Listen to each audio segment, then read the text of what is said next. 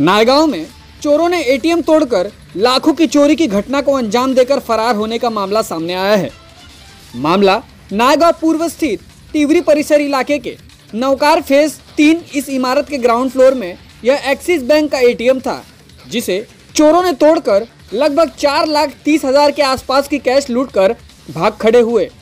यह घटना आज सुबह लगभग चार बजे के आसपास की बताई जा रही है।